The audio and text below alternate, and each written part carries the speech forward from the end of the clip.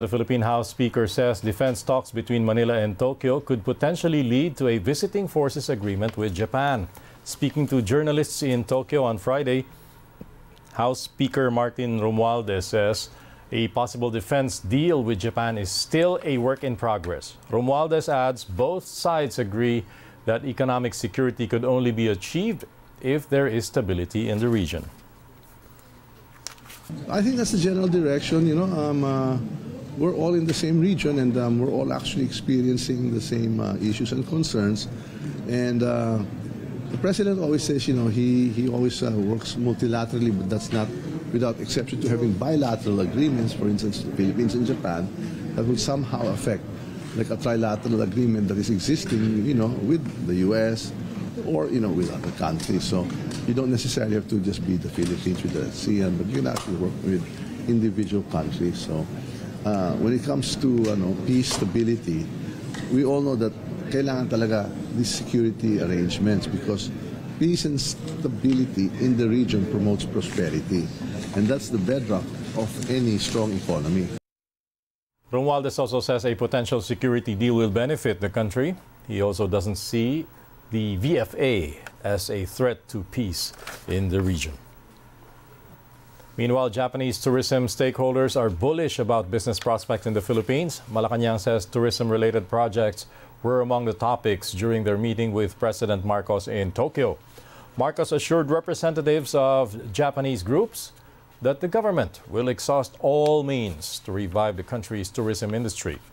He also urged Japanese airlines to restore pre-pandemic routes to the Philippines Manila's Tourism Secretary Christina Frasco notes they also shared plans with Tokyo's tourism leaders on how to woo more travelers from Japan.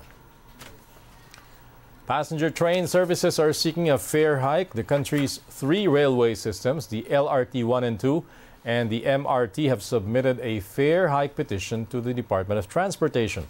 They are proposing a 13 pesos and 29 centavo minimum boarding fare and an additional 1 peso and 29 centavo distance fare per kilometer. This means minimum fare for the MRT and LRT1 will be 17 pesos, while LRT is proposing a 15 peso minimum fare. The Light Rail Transit Authority says a fare adjustment has been long overdue. Hindi kami nagtaas for the last seven years. Uh, lahat nagtaas na. Gasolina, sa wage, tumaas na sa mga mga binibili natin, tumaas na lahat yan. Kami na lang ang hindi nagtataas. So if we compare doon sa existing na na bus fare ngayon on the same uh, 12 uh, kilometers average distance na binabiyahe, mas mas mababa pa rin ang sumakay sa sariles. The whole cast of ABS-CBN's highly anticipated series FPJ's Batang Quiapo is in Cebu for a fan meeting ahead of the show's pilot episode on Monday. Now let's get an update from our correspondent Ani Perez. Ani, looks like Cebu's star-studded city today. Stanley, that's right. The audience here in Cebu is very grateful that they were visited today by the cast of ABS-CBN's U.S. teleserye FPJ's Batang Quiapo. Amol show is set to give fans a chance to see lead actor director Coco Martin himself. He is also with stars Cherry Pie Picache, John Estrada, Mark Lapid, Lito Lapid, and McCoy De Leon. Rappers Smugglaz and Bassilyo, along with social media influencers Norvin and Lovely De La Peña, including Tony Fowler, also interacted with fans. During the media conference early today, Stanley Coco Martin said that this teleserye is a notch higher than his previous show, FPJ and Probinsyano.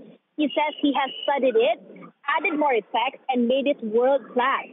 It focuses on the story of Tanggol, who grew up in the slums of Manila. He also adds that it is the story of every Filipino. Most of his co-stars are also his former actors in his previous teleserye FPJ Probinsyano. All of them expressed gratitude for this new project, which they believe is going to be a breakthrough in Philippine television, especially since they have used a no script technique where the cast improvises on their lines. Martin also shared that it is an honor to work with the legend Fernando Poe Jr.'s daughter, Lovi Poe, whom he has described as very humble and down to earth. FPJ's Batang Quiapo is set to air this Monday, 8 p.m. after the lo- local newscast, TV Patrol. And that's the latest here from Cebu. I'm Perez, ABS-CBN News.